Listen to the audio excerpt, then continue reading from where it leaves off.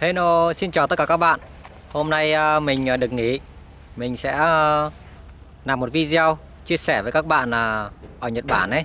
Tại sao cá chép ở sông hay là những con cá ở cái sông ngòi này này Người ta ít khi người ta ăn.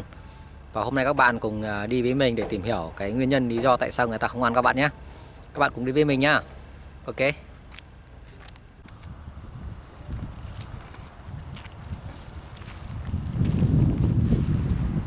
Các bạn nhìn thấy ờ, cá sông ở bên ờ, Nhật Bản có nhiều các bạn? Nhiều lắm, những cái con cá to hàng 6 7 cân như thế này hàng nhiều kinh khủng luôn đấy.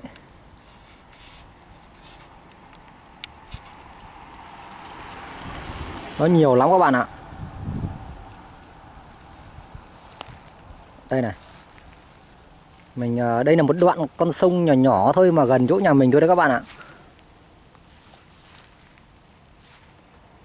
Người ta không có bắt ăn gì cả.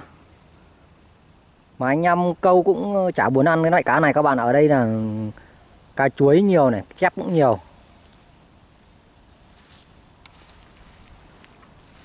To lắm. Nếu mà các bạn được nhìn mắt thật sự thì là nó dễ hình dung hơn. Còn qua clip ấy, thì là có thể là do phản ánh sáng hoặc là do cái khung nhìn ấy thì nó sẽ không được rõ. Cá anh vũ này cá chép này nhiều lắm. Vực này hơi sâu một tí mình sợ rơi xuống đây thì đứt. Cái anh vũ kìa các bạn à? Ờ, đó, cái chỗ mà dài dài kia là cái anh vũ nhá bên này là cái chép nhá các bạn nhé đây là cái chép này. Đó, bên này cái anh vũ các bạn nhé anh vũ ăn ngon lắm ăn tuyệt vời luôn. Do ánh sáng nên là mình nó phản hơi hơi phản ánh sáng.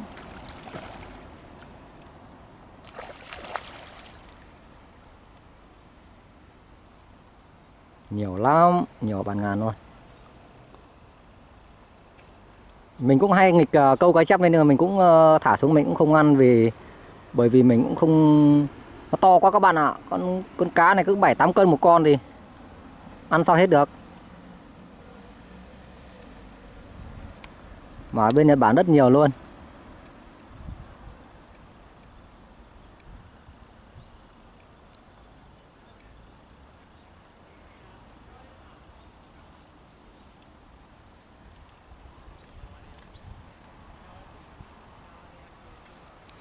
Như cái ao nhà mình luôn, nuôi luôn các bạn ạ.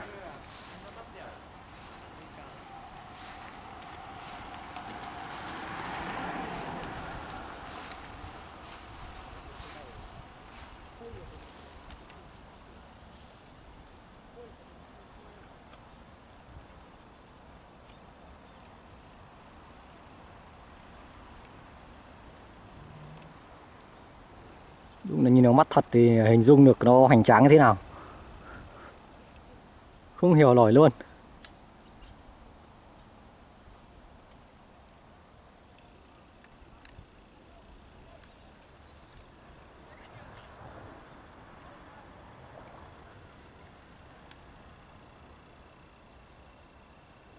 Đây là một khúc sông bé tí thôi đây các bạn ạ. Một khúc sông thôi đấy. Người ta cũng chả buồn bắt, chả buồn ăn luôn. À, Cái chỗ này nó tụ vào này.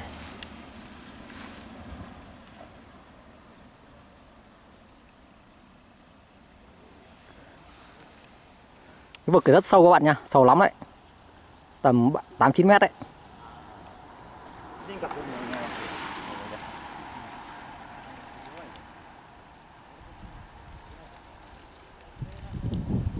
Do bị phản ánh sáng, nó nhìn nó hơi nờ mờ, các bạn thông cảm nhé.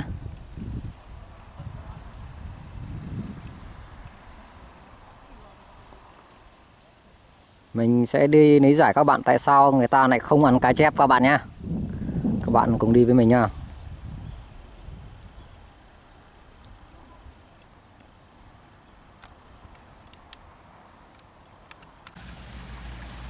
Mình ờ, đưa các bạn ờ, đến một công viên ờ, chuyên về câu cá ở gần chỗ nhà mình các bạn nhé. Ở, ở đây đó là chỉ có cụ câu thôi. Người trẻ cũng có nhưng mà các cụ câu này chính các cụ ngày nào cũng đến đây. Thì bây giờ có gì đặc biệt ở các cụ câu này các bạn nhé.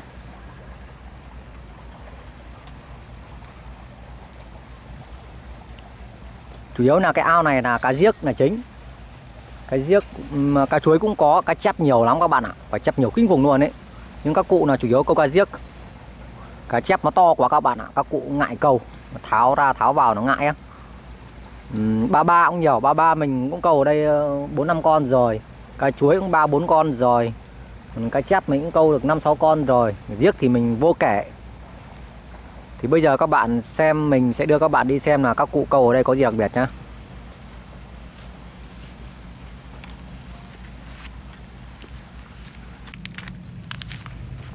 Đấy, các bạn nhìn thấy cái à, cụ này cụ câu là con cá chép à, con cá giếc này. Rất là to luôn.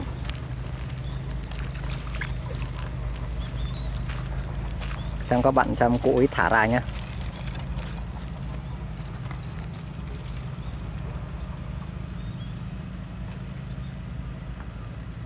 Đấy, cụ thả ra rồi các bạn ạ.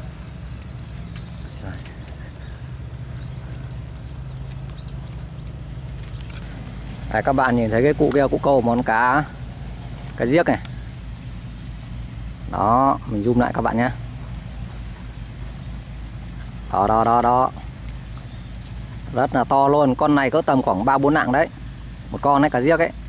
Đấy, cụ sẽ thả ra thế này các bạn nhìn này đó đấy không có lấy không có ăn gì cả.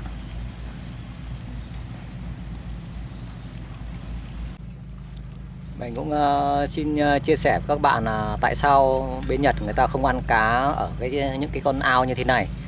Bởi vì nguyên nhân rằng là họ ấy bảo rằng do nó bẩn các bạn ạ. À, họ nên họ không ăn. Ừ. Theo như quan điểm cá nhân riêng của mình ấy, thì cái bẩn người ta cho vậy thôi chứ còn thực ra là do cuộc sống người ta cũng đầy đủ quá rồi các bạn ạ. Cái đầy đủ như thế nào các bạn nhé? Thì kinh tế Nhật Bản bây giờ một ngày trung bình của người lao động phổ thông ấy là tầm khoảng 2 triệu 2 triệu đồng tiền Việt. Mà 200 nghìn một cân thịt thì một ngày người ta làm được 10 cân thịt. Thì là cái đời sống người ta nó cũng đầy đủ. Nên là cái vấn đề về con cá con mú đây là người ta không có ăn. Các bạn xem bộ phim uh, mộ đom đóm ấy các bạn biết à? Cách năm 1945 Nhật Bản cũng đói lúc ờ, sau khi thua trận là đói.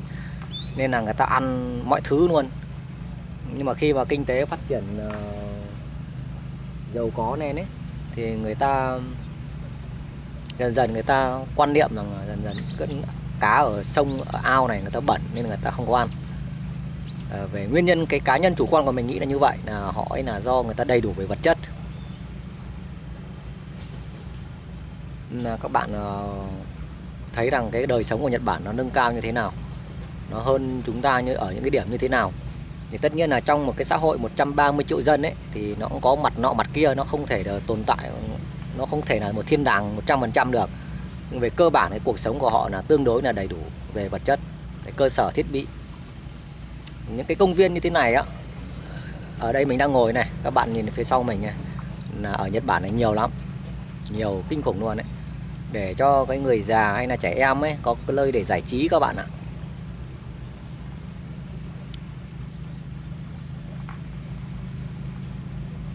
Nên là mình chia sẻ các bạn là, là như vậy. Các bạn à, thấy ờ, clip của mình hay hãy cho mình một lượt like một chia sẻ các bạn nhé. Bye bye.